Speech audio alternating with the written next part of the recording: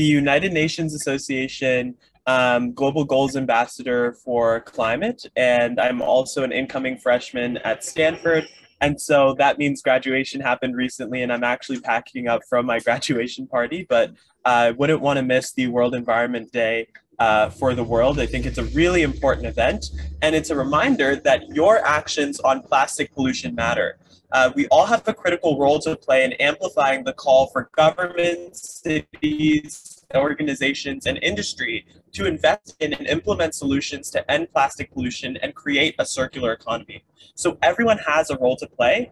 And when we're trying to talk about beating plastic pollution, there's no one better than the speaker we're going to have today. And so I'm so excited that all of you have decided to tune in on what will be a really vital and important conversation surrounding how plastic pollution is affecting our climate and what we can do about it. I know as a young person and someone heavily engaged in the climate space, I'm very passionate about this topic. And I hope that through this conversation, we'll have a concerted and directed effort on how to combat this problem. Excellent. Thank you so much. Um, now, I, I appreciate, uh, uh, great, we have a video coming up, I think. And um, with any luck, it's what's, I see something on the screen.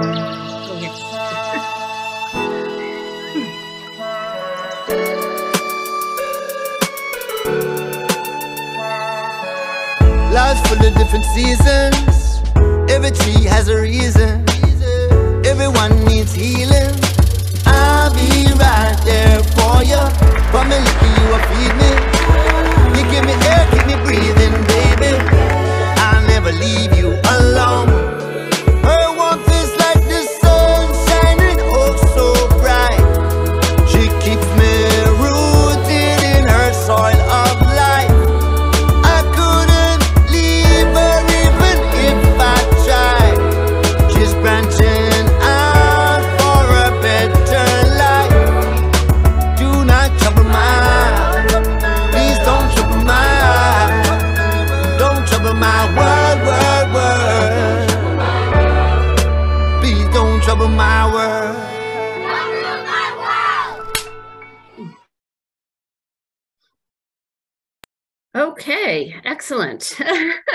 well, thanks. Um, so I guess it's over to me now. Uh, so as you can see from the um, video that we just saw, today is World Environment Day, um, which is celebrated every year. Uh, UNEP, uh, the UN Environment Program, for whom I work, um, is, in, is in charge of sort of coordinating this international celebration every year.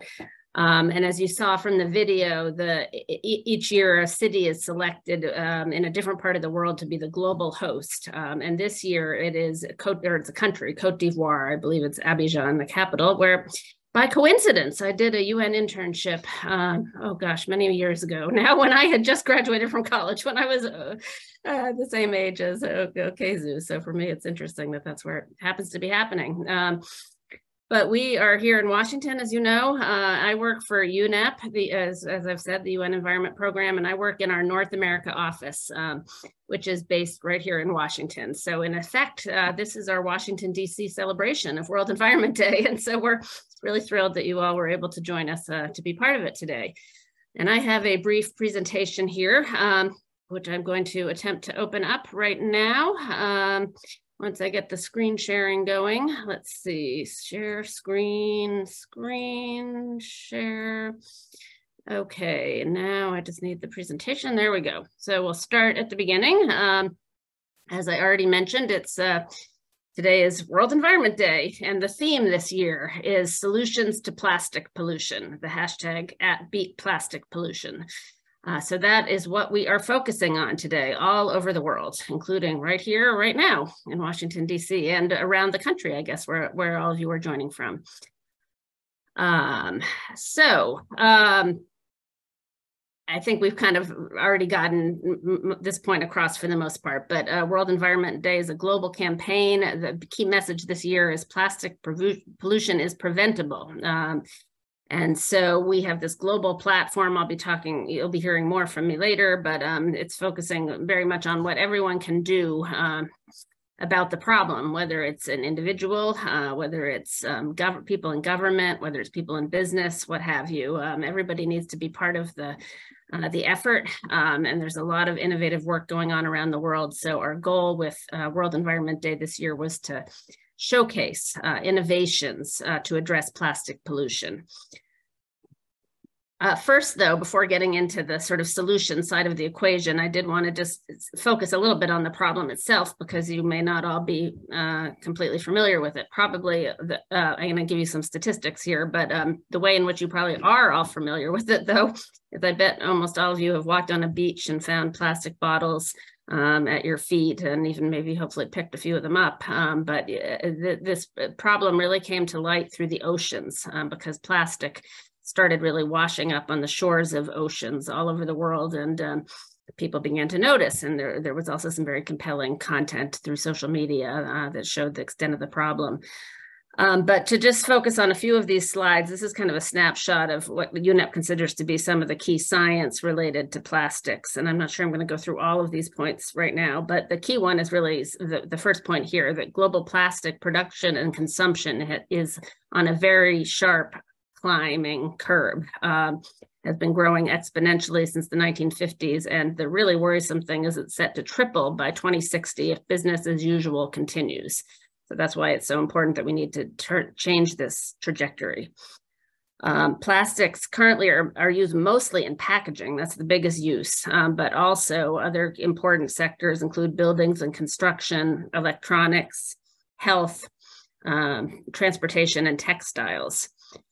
And uh, one thing that I, it, people don't always understand is that up to 99%, so almost all plastic today, in other words, is uh, derived from po polymers uh, that are derived from non-renewable hydrocarbons. So essentially from fossil fuels. Plastics is, in some some people often say, sort of fossil fuels in another form. Um, and there are a number of important health effects as well um, associated with plastics use, um, with research going on um, all the time to try to help us better understand some of these links um, between the links between plastic use and chemicals um, and their effects on human health and the environment.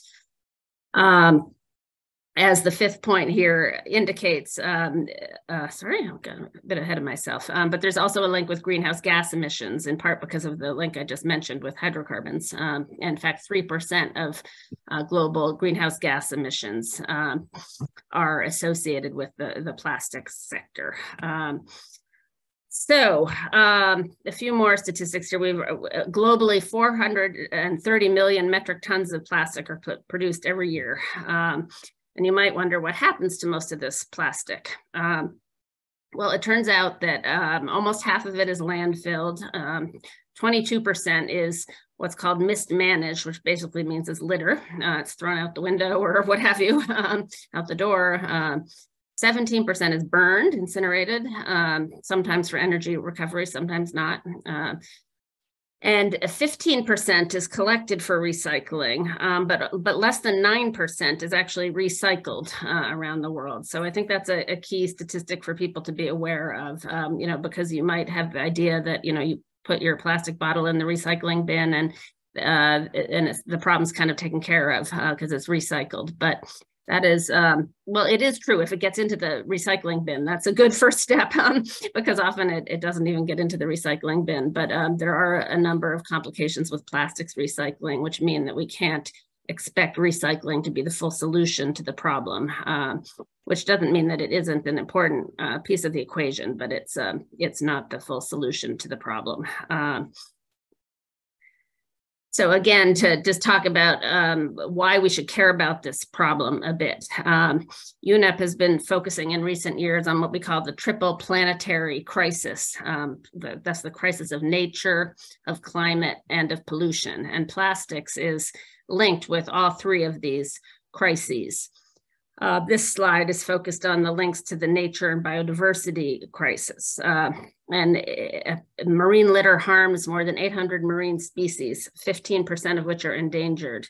Uh, more than 90% of all birds and fish are believed to have plastic particles in their stomachs. Uh, plastic also smothers coral, corals, mangroves, and seagrass beds, which prevent them from receiving oxygen and light. Uh, and all of this can significantly impact nations whose entire GDP sometimes depends on, or most of it anyway, depends on travel and tourism.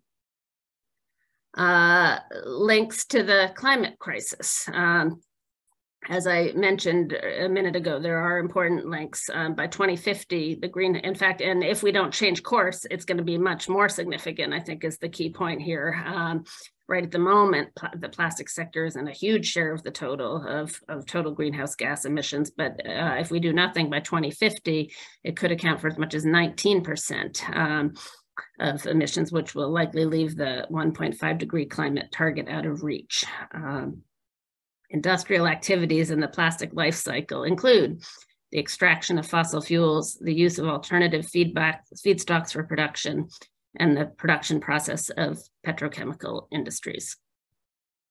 And finally, links to the pollution and waste crisis. Well, as I mentioned um, earlier, more plastic waste is actually mismanaged than collected for recycling.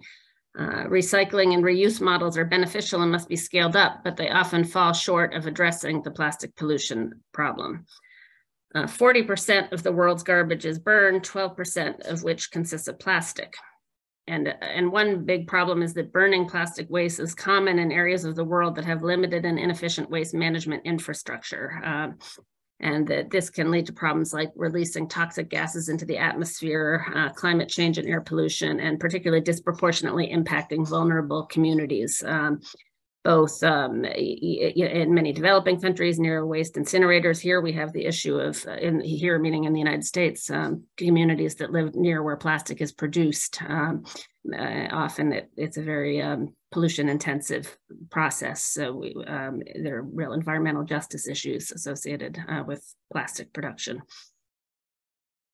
Uh, so speaking of the United States, because here we are in the United States, um, I wanted to just show a, a, few slides that show uh, what what's happening here in in this country related to plastics because it's a global problem, but it's also very much a um, a problem here in the United States. And this is these are numbers from the U.S. Environmental Protection Agency uh, that show how quickly plastic waste is growing as a share of the total in U.S. municipal solid waste. Um, so it's it's showing up more and more often as plastic is used more and more widely. Um, for all kinds of things. Um, you know, we're all familiar with it, the packaging we get at the grocery store and so forth. Uh, and this uh, graph shows plastic waste um, generation per person around the world in 2019. And, and it, um, these numbers were uh, put out fairly recently um, by the OECD. Uh, and they show that the, the US is actually the world's largest user or uh, the largest generator of plastic waste per person. Um, in the world. Um, so um, that's a, a, sobering statistic, you know, and uh, I think uh, makes clear that we have to accept that, um, you know, we, are a big part of this issue here in the United States, and and therefore the United States, um, you know, it's it, it, it's important to the United States and all other countries be very much part of the um, part of the effort to to to move ahead with solutions.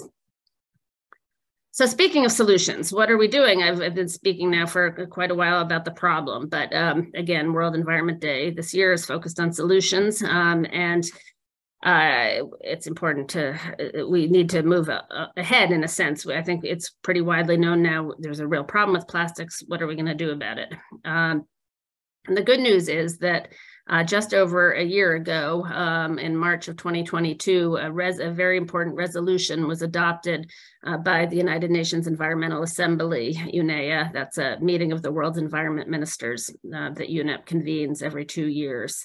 And it's typically at our headquarters in Nairobi, Kenya. And uh, this resolution called Ending Plastic Pollution Towards an Internationally Legally Binding Instrument um, stipulate it basically launched an international negotiations process um, to create a new international agreement on plastic pollution, including in the marine environment. And importantly, it stipulated that the uh, agreement should be based, should address the full life cycle of plastic. So that means not just looking at the disposal uh, part of the uh, of the life cycle when it ends up in the ocean or wherever else, but really going upstream and looking at the generation of plastics, addressing issues like either using less plastic in the first place, reusing plastic, coming up with innovative um, new uh, industrial systems or what have you. Um, so that's very much on the table as part of these negotiations. And um, also importantly, uh, the government's agreed to something of a deadline or at least a target uh, to complete these negotiations. Um, by the end of next year, the end of 2024. Um, these are negotiations that are being convened under what's called the Intergovernmental Negotiating Committee, an INC, um, that was set up. And uh, the goal is to complete this process, uh, you know, very quickly. Um, so, so we're all very busy at the moment um, working on this process. And this shows you the timeline. So after the resolution that I mentioned um, in Nairobi was adopted last March, uh, the first INC was convened in Punta del Este, Uruguay, um, last uh, November, early December. Uh, and then INC 2 um, actually just happened last week in Paris. Um, and in a minute, I'm going to uh, speak with you a bit about um, what some of the key outcomes were of the meetings in, in, um, in Paris last week. Um, but also I wanted to show you where we're going to be now. Now what? Kind of now that Paris is over, um, the next now that our attention is going to be turning to uh, INC three, uh, which is going to be happening in Nairobi, Kenya, where UNEP's headquarters are. In November, um, and then INC four, which is supposed to be the last. Uh, I'm sorry, not the last INC. Uh, my view is a little obscured on my screen. There we go. Um, the um, INC4 is supposed to happen in Canada um, in early 2024. Um, and then INC5, the last INC, is, is going to be ha happening in Korea um, it, it, towards the end of next year. And then the, the hope is that the agreement itself will be adopted, um, uh, will be actually finished um, early uh, 2025, but the, the INC will have completed its work if everything goes according to plan. Um, by the end of 2024 as called for in the initial resolution. Uh, so as I said, I was going to um, share with you a little bit, uh, sort of late breaking information about um, what happened in Paris last week at INC2. Uh, it, it, it, was quite a gathering. There were more than 1,700 participants, um, over 700 member state, that means country delegates from 169 countries, and over 900 observers from NGOs. So there's a lot of NGO interest um, in this process, as well as private sector interest. And the most important outcome really was that a mandate was agreed to for the chair of these INC negotiations to prepare what's being called a zero draft of the agreement ahead of the next INC, um, which is going to be happening in Nairobi in November. So that means that uh, there will actually be sort of a draft treaty on the table um, in November uh, that governments will be um, will be negotiating based on. So that was quite an important outcome. Um, there were some other um, things that were agreed to, including the Secretariat will be inviting submissions from observers and also from member states on um, their views about some parts of what are called elements that were not included in an earlier exercise where submissions were invited, um, such as principles and scope.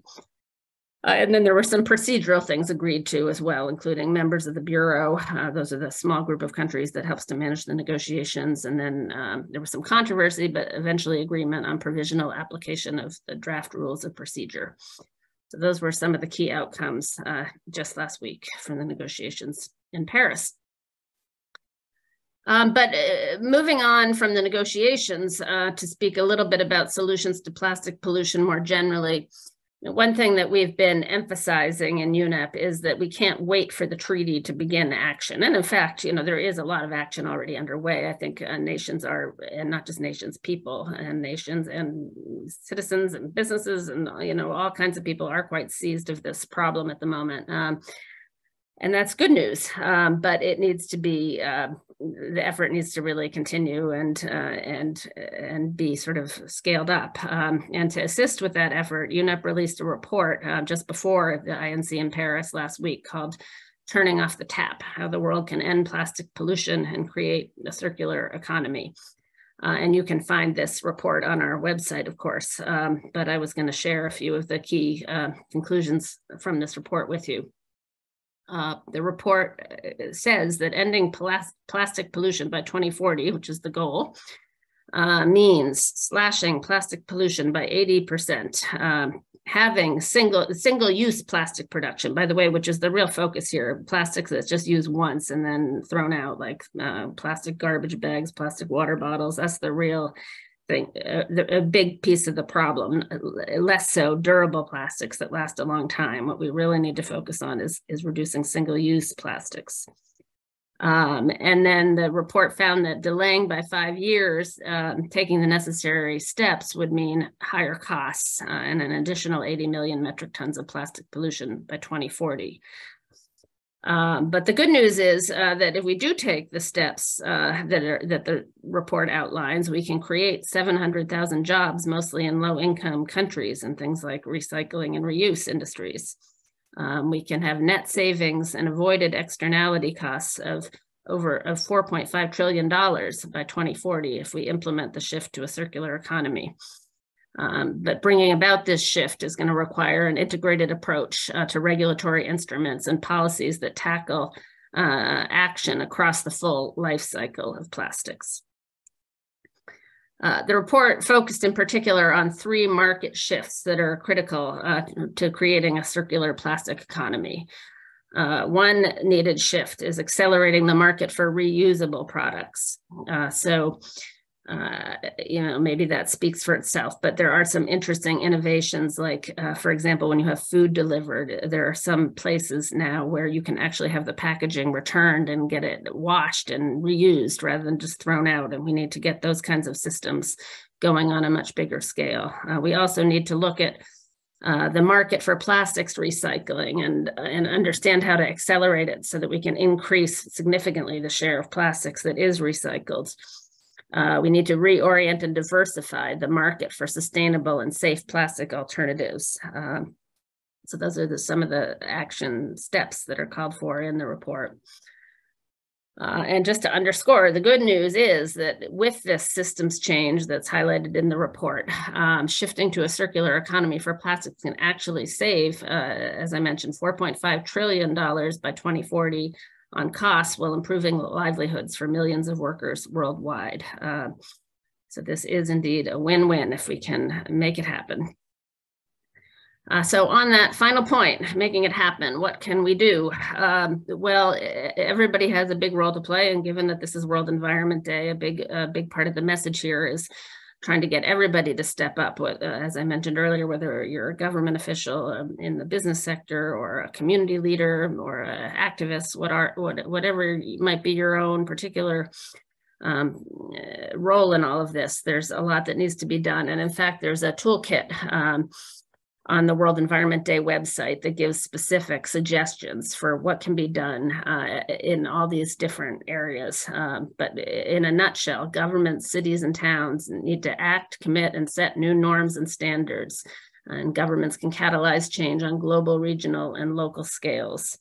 Uh, the business and finance community needs to design out waste by eliminating and substituting unnecessary and hazardous plastic production and packaging, especially single-use plastic and for peoples and communities, individual and community actions underpin the systemic change required to transition to a less plastic dependent economy. Um, so uh, uh, yes, using your voice and your choice as, as we're calling for at this World Environment Day to um, to focus on beat, beating plastic pollution um, as the World Environment Day theme calls for. Um, and so you can thank you all for your interest and your attention. And um, I've put here on this slide uh, some links, and I believe my colleague is going to be putting them in the chat as well. Um, but these are sources of uh, further information. The World Environment Day website has a, a lot of information. Um, our uh, UNEP's website, there's also a page on um,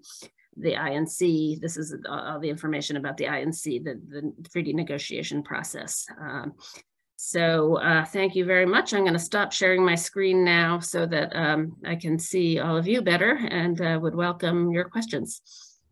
Yes, thank you so much, Hillary, for uh, speaking to us. And thank you, of course, to the United Nations Environment Program for coming out and being able to share this great message on World Environment Day. I think it's very clear that there's a lot of responsive action that we can take in the context of our own lives and more broadly to really help to combat this plastic pollution problem. And as was mentioned, single use plastics is sort of at the forefront of that. So if there's any way that you can mitigate or reduce that production, or even working on solutions to make plastics multiple use, or even working on solutions to eliminate plastic, that would be great. And we hope that you'll continue to engage with us and, of course, the UNEP.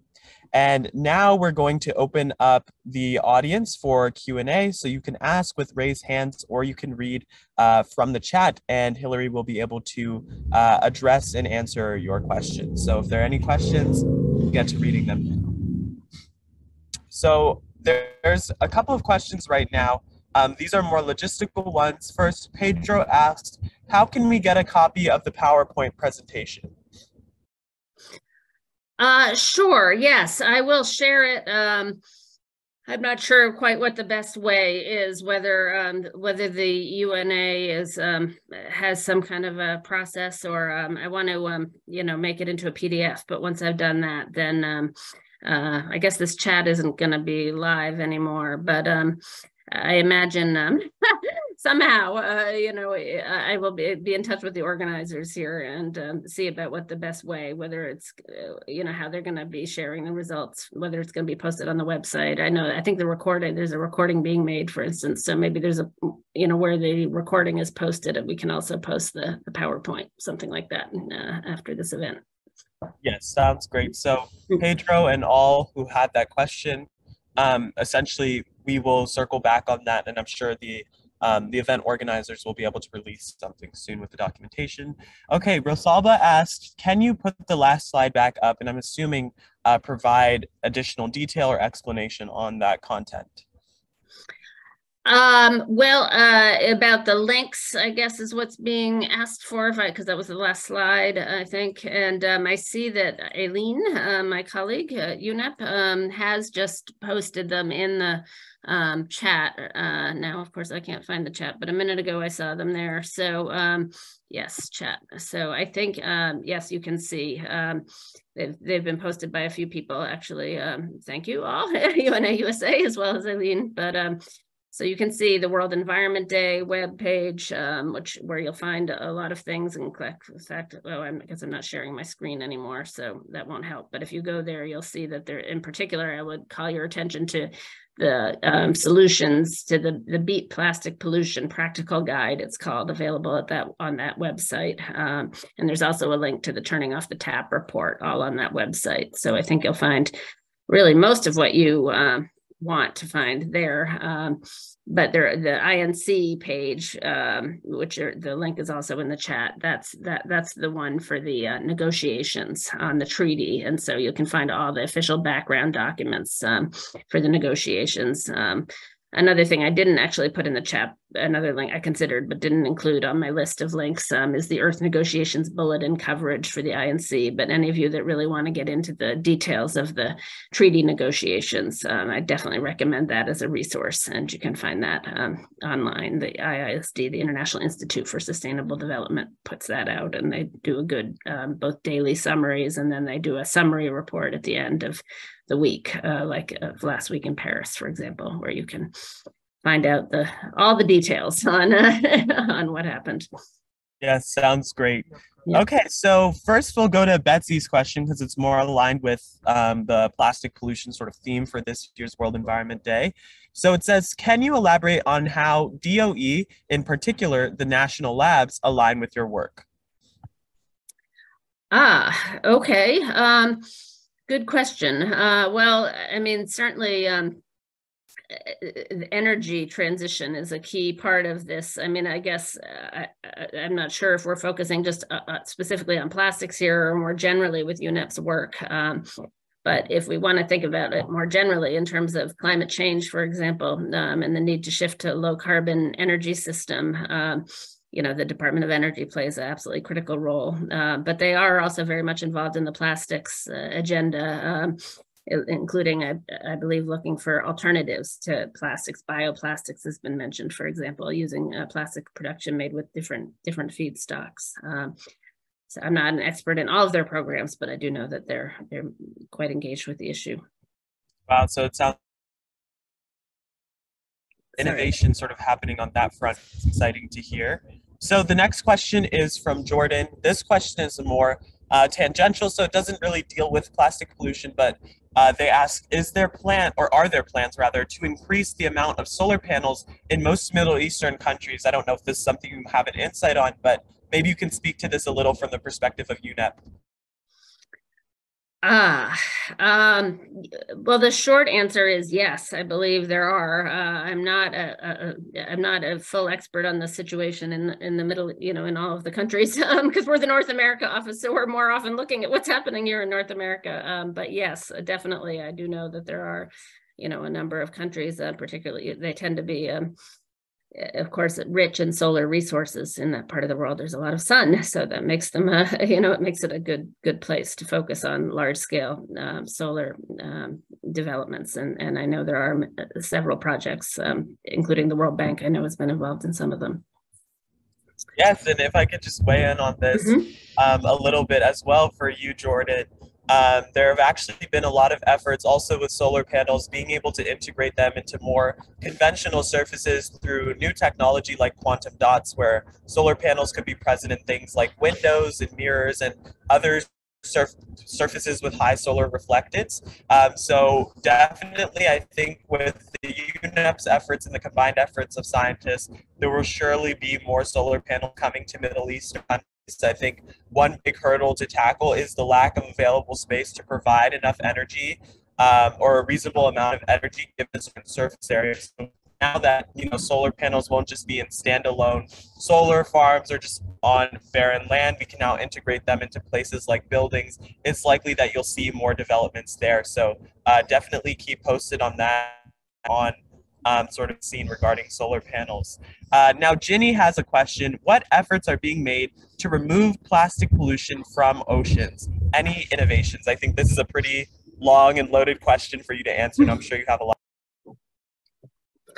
Uh, well, there are some. Uh, probably uh, many of you have heard about the sort of the plastic beam effort um, to the, the, the big beam boom. I forget exactly what it's called, but the goal is to, you know, try to trap the plastics in the ocean and and and take it out of the ocean. And certainly these are things that should be explored. Um, there are also efforts to keep plastics, you know, for, at rivers, you know, to uh, uh to sort of block plastic plastics.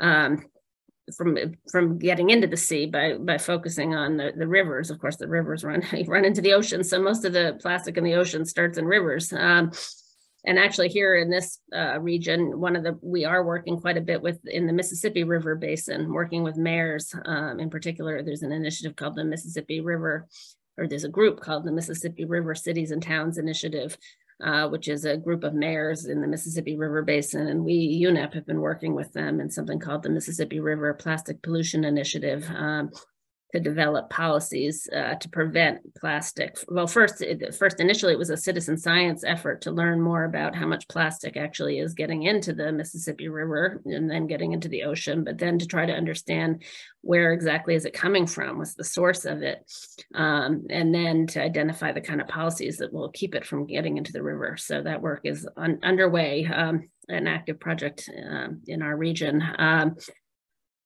so I guess I would uh, say that um, you know we need uh, i think it's important to realize that there as i said there's a role for all of these things but we do need to focus on the upstream part of the equation uh, as well which is why the treaty negotiation is focusing on the full life cycle of plastics because we're not going to solve this problem by just catching all the plastic once it ends up in the ocean. Um, there's just far too much of it for that, and there will be more and more uh, in the years ahead unless we turn these trends around. So we really need to focus on um, using less plastic in the first place and re- reusing plastic uh, if we do use it, recycling it if you know uh, you know if we can't reuse it or not use it in the first place. You know all these things are very much um, part of what needs to be done to actually solve the problem. Yes, no, great and astute answer. And I think one thing that you touched on, Hillary, that's really important is that just catching all the plastic in the ocean will definitely not solve the problem. Um, and that's why I think recent innovations, like one I saw spotlighted on the World Economic Forum through an ongoing study is that actually at UCSD um, in the Scripps Institution of Oceanography and the Jacobs School of Engineering, um, they're actually releasing non-toxic pink fluorescent dye into oceans to track the movement of pollutants over time. Um, so that's an example of how they can go through the whole life cycle of plastic using science and technology. And there have also been different sort of plastic sequestration efforts through uh, magnets and other sort of technologies. So I think the interfacing of, of both of these areas and the way that we're um, sort of creating this responsive innovation, like you said, to track the entire life of plastic and really combat the problem holistically are really important. And so, uh, for Ginny, who asked the question, I think one great place to um, sort of look is with places like the World Economic Forum. I mean, there are people making sustainable bricks from recycled plastic. There are people creating reusable plastic, plastic packaging cleaning infrastructure. Um, there are people even deploying um, robots made up of the cells of um, African clawed frogs. Uh, they're called xenobots that can actually digest and biodegrade uh, plastic and track. So UNEP is, of course, supporting scientific efforts, and there are so many broad organizations that are also working towards this problem. So there's definitely a lot of innovation sort of occurring at the helm, and it's important that we all remain at the forefront of, of that conversation and also do our part to contribute. So Anita now has a question. Um, she asks, there are business and academic orgs involved in the solutions, e.g. Alliance to End Plastic Waste and Beyond Plastics.org. Any comments on their activity and promise? I'm assuming she's talking about like 501c3 organizations um, that are working to combat plastic pollution through advocacy or other academic sort of. Mm-hmm.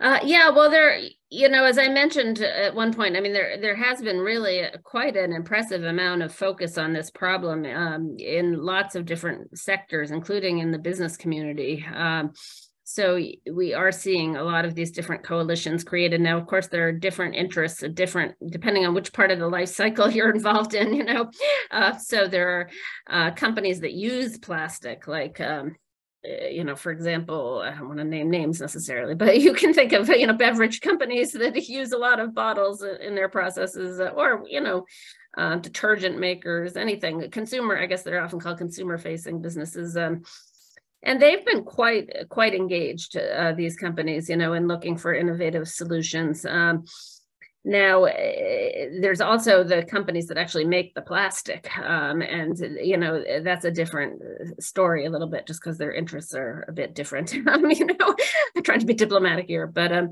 you know, uh, there is an issue of plastic production itself. As I said, this country, our country, the United States, is a big producer of plastics, and um, that's quite a controversial issue, and from an environmental justice point of view, as as as well as from other perspectives. Um, so we have to look at that as well. But as a general matter, I would say, um, you know, there's quite an effort. NGOs as well are, are very engaged, many of them. I mean, there could there are others, of course, but there could always be more, you know. um, the oceans community was an early leader in this area. I think, you know, initially the, issue, the focus was really on what was called marine debris. Um, and marine litter. And then it's sort of grown from there to now being plastic pollution in general, um, which I, I, think is a good evolution.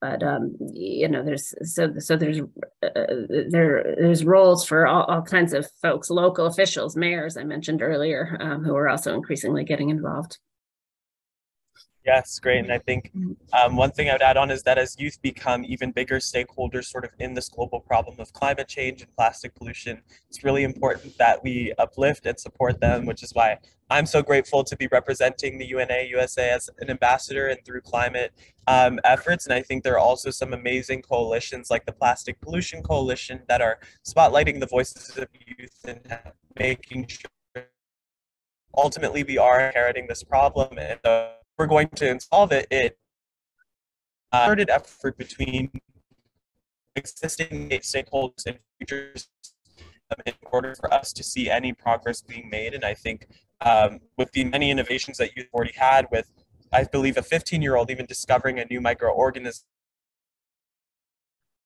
the important um, that also engage conversations. So assemble youth boards, assemble youth ambassadorship opportunities, assemble youth um, sort of focus groups and affinity groups. It's going to be really powerful and important. And I'm sure UNEP can attest to that.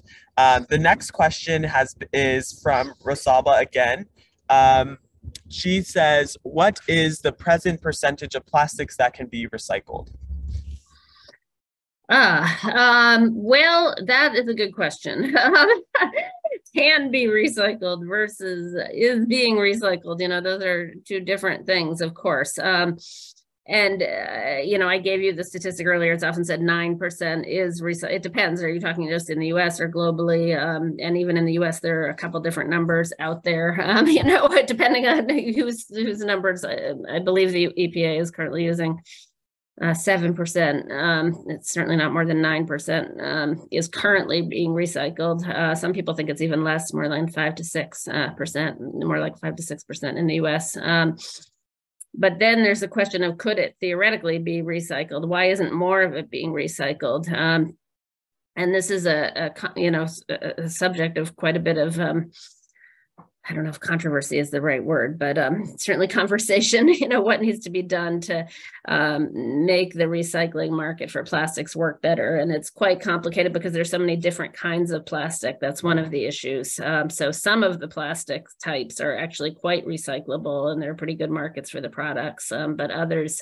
it's harder. Um, so there's also an effort um, that the chemical, particularly the, the, the petrochemical industry is uh, supportive of um, called advanced uh, chemical recycling, uh, which their view is that it would lead to a lot more plastics being recycled, but there's actually quite a bit of opposition to it, particularly in the, the NGO community that sees this as not such a good development um, and that it could cause quite a bit of um, pollution as well. So um, so I don't think I can give you a simple answer to that one. Um, but in general, I would say, unlike other uh, uh, some other materials like aluminum, uh, you know, and glass, those materials are much easier to recycle uh, uh than plastics, which is why the recycling rates are quite a bit higher for uh, some of those other um, materials. Yeah, so that's great. I mean, I think the prevailing answer really is not enough currently. Uh, so some action does be taken on that. But um, as you've mentioned, Hillary, there's a lot of ongoing conversations and, of course, conflicting also corporate agendas and sort of uh, revenues that are starting to clash. And so hopefully we can all begin to see alignment sort of on this problem. And again, this goes back to the importance of engaging people from all sort of areas of the spectrum when it comes to uh, climate, because as we all know, it's a very intersectional problem. And so the solutions are going to come out of collaboration and not industrial sort of silos, if you will. Uh, and so that brings us to the next question from Roseanne, which is, uh, or Roseanne, I believe is how you pronounce it. What incentives are there for the United States to consume slash use plastics? It's interesting uh, to consume incentives to consume or not to consume. I'm sorry, I'm uh, uh slightly confused. yeah, yeah. I assume I assume they're oh yeah, so they're saying not consume to not. Oh, okay. Incentives to reduce consumption, in other words, basically is, is the question. Um, yeah, well, it's a good, very good question. I think we have to. That's a key question, really, is how do we make the incentives stronger uh, to reduce the use of plastic. Um, because right now, I mean, a lot of it is driven by price. To be frank, pollution, uh, plastic is is not very expensive, and it's been cheaper. There's a close connection with energy, the cost of energy, because plastic is basically derived from fossil fuels. Um, and as uh, so with energy and uh, with energy prices relatively low, um, it's it made plastic production even cheaper. There's a, a, a link with the fracking and, uh, issue, for example, and the natural gas issue. So, um, uh, so that's an issue. What do you do? It's almost like it's too cheap plastic, basically. Um, and uh, therefore the incentives are to not reduce it because it's cheap. So um, it's easy for the companies you know and and the consumers who ultimately pay the price. It doesn't cost that much you know and we're all sort of implicated at least to some degree. I know in our household i'm always a bit shocked by my recycling bin every week when i see how much plastic is in it. Um, a lot of it from the grocery store the you know all the vegetables come that way these days and things. Um, so, uh, you know, there are proposals uh, to tax, and, and, I'm, by the way, I'm not saying UNEP advocates any of these, but a lot of these, you know, we, we just, I just have to be a little careful. Our, our, our role is to lay out the options, but particularly for the treaty, it's up to the governments to decide what options, you know, how they want to go about it with the treaty. And certainly at the national level, we have, for example, various national, the US has national legislation. Canada, uh, which we also work a lot with out of our office, also has some quite um, path breaking restrictions they've put in place on single use plastics bans. Um, so there are all kinds of things that can be done, ranging from financial incentives, which would be in the form of taxation, to actual outright bans of certain kinds of plastics, which many countries have implemented. Um, uh, so there are, you know, a variety of strategies. Extended producer responsibility, as it's called, which is basically making the companies um, that that use the the packaging more responsible for taking it back and figuring out what to do with it, uh, re- hopefully recycling, reusing it. Um, and as, as some of those systems can actually generate some revenue for local governments that help them uh, improve their their collection um, abilities and systems as well. So those are all some of the sorts of things that need to need to happen. Yeah, no, that's great. A lot of countries have um, sort of started issuing bans on on plastic, like you mentioned. There's like France, there's Kenya, China, Rwanda, the UK, um, in certain areas they've they've started issuing some bans on on plastic. So uh, definitely i from a personal standpoint i'd say i think the us um, needs to start following suit though of course that will be difficult considering how much you know plastic is pervasive in our products. So it would be great to see some sort of progress or legislation on that. And mm-hmm. um, in 2017 actually there was a forbes article um, this was in Haiti, but I think it's something that could be implemented in our community as well, in which they actually had something called a plastic where they would take, take the plastic to um, recycling centers and that would ensure that it would get properly recycled. So that's an example of ways we can incentivize individuals, particularly um, individuals of low income or unbanked status to uh, you know, start participating in this global effort. And I think that incentive is very necessary. So Great question, Roseanne.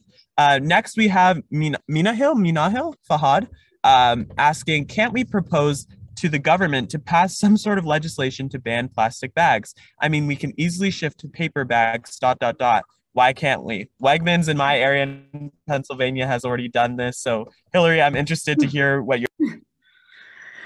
Well, um, you know, good question. And I think um, basically, uh, you know, we have to of course, we all have to work through whatever government structures you know we have access to. And uh, um, you know there is a lot of innovation happening at the local level as was mentioned where there are a number of bans that are already in place the state level as well is an important place to look you know and we have some states that have implemented very uh, progressive policies um, and then finally, there's the national level here in the U.S. Um, and you know, we did pass. There was a, a, piece of legislation called the Save Our Seas Act, passed a couple of years ago with bipartisan support, um, actually, which um, called for quite a bit of attention. Uh, you know, quite a few things related to reducing plastic uh, pollution. It was mostly fo- initially focused on the um, marine debris side of things, as implied by the Save Our Seas, um, you know, title. But um, you know, it did as I say, pass and get signed by President Trump at the time. Um, and it, all it, it, focused also on the international level and called for the U.S. to, uh, to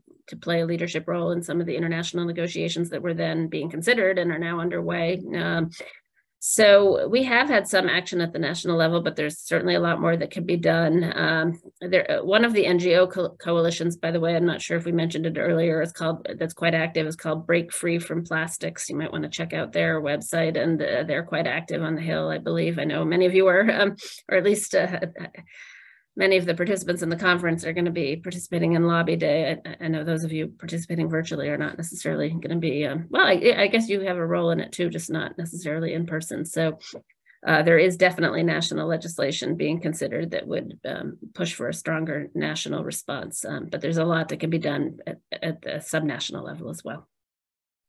Yes, great answer. Thanks so much for weighing on in on that. I think um, it's really important that we start engaging legislative bodies um, towards action. And I think we're seeing a good bit of that, especially with recent push by a lot of um, NGOs and organizations. So glad to hear that there's an effort on that front as well.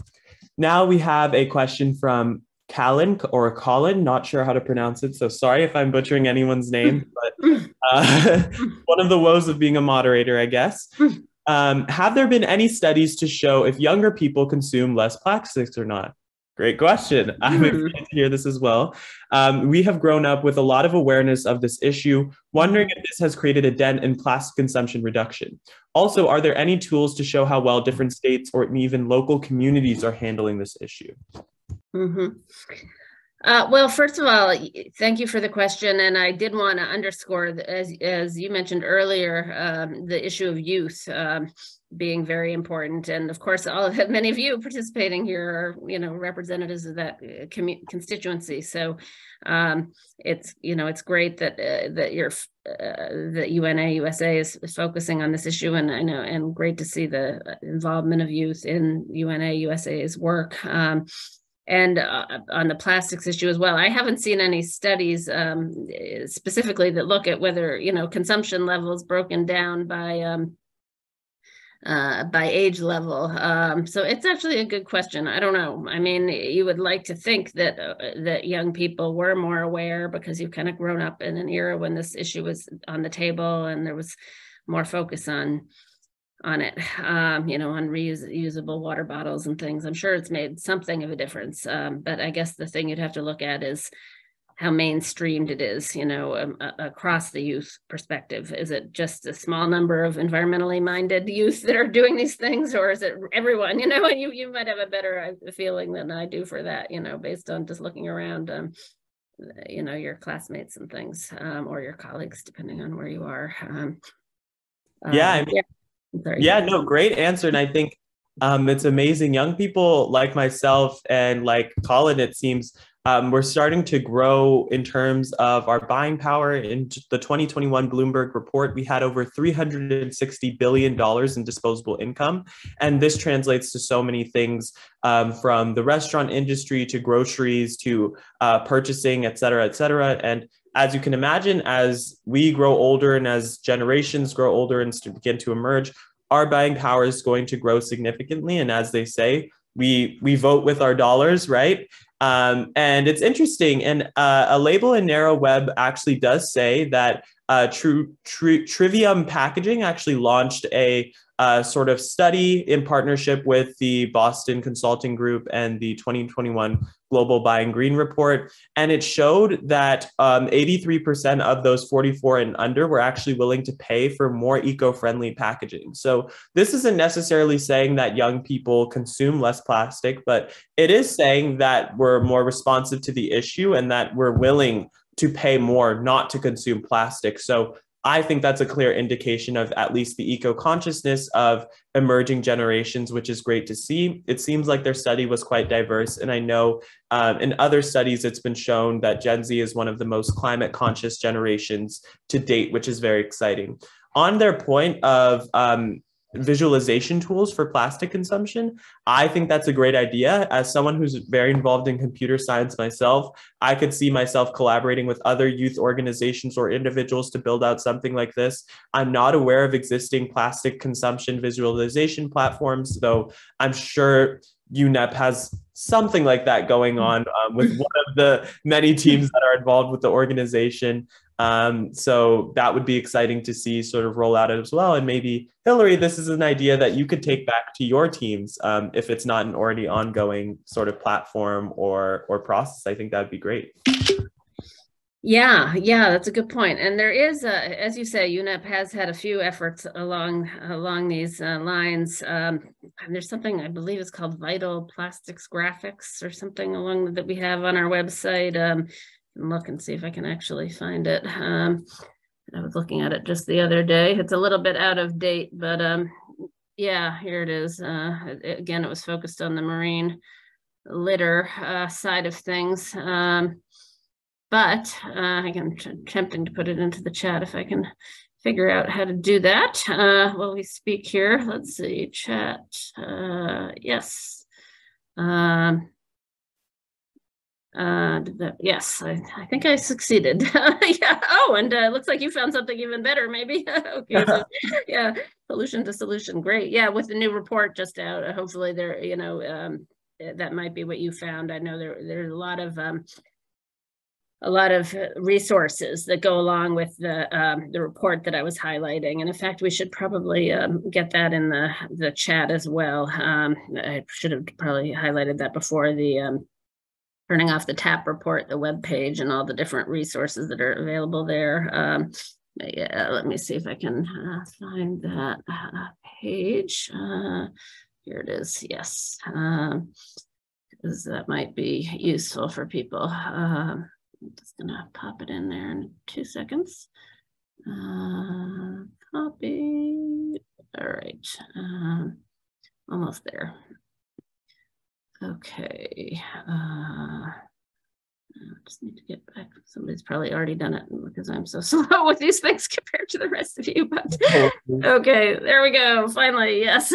so um, that might um, you might find some of those resources helpful as well. But it, of course, UNEP's resources, many of them are globally focused. Um, but if you uh, if you you know take a look around on the web, you'll find a lot of you know more U.S. specific resources as well. Um, I'm sure um, that could be helpful. I think somebody asked that question: state and local um, government efforts, um, and off the top of my head, I'm not aware of a sort of a one-stop shop for that kind of thing, but it, it, would be an interesting thing to look for whether somebody's compiling um, a list of, you know, uh, progressive actions um, at that level. Uh, there's a group called the National Caucus of Environmental Legislators um, that often um, that that is a group of, as the name implies, uh, legislators from the state level that are uh, focused on environmental issues. That would be an obvious thing for them to do if they haven't already. Uh, Muted. We can look into that.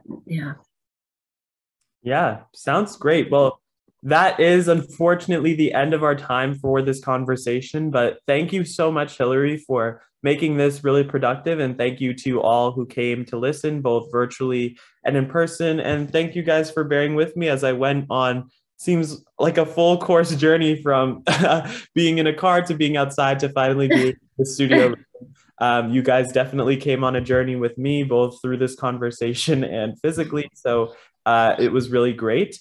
Um, I also want to encourage you all to visit the World Environment Day virtual booth on the Zoom events platform um, and also to stay engaged with the UNA USA's um, event coordinations and connect with me and Hillary on LinkedIn. I really hope this was a productive conversation and that we can continue taking this forward. And also thank you to Retreat Space for helping us sort of organize this live event. So thank you all for coming. And if you have any further questions, we've both put our information in the chat for you to be able to connect with us.